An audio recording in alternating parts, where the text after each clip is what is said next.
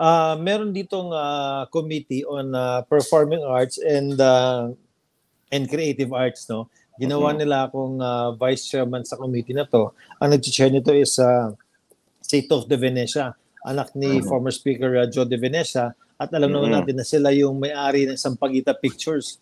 So he's Yun. very much concerned. Nung nakita niya yung bill ko, nung kwento Mhm. sa kanya, he was very much concerned. So sabi ko sa kanya, Mhm. ito yung gawin natin. In fact, sabi ko sa kanya, dapat Mm. ang gawin natin, we will have to audience with, get an audience with the president. Dahil kung pwede, i-suggest natin sa kanya, itong film center na nandyan sa, sa Cultural Center of the Philippines, Mm. that film center was built in the 80s. Mhm. No?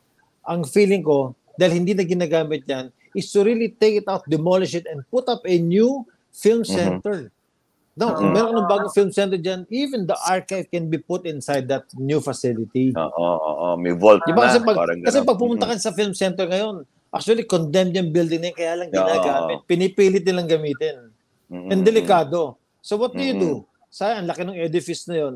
So might Oo, as well convert na. take it out, uh, demolish Mhm. it, and put up a new uh, film center.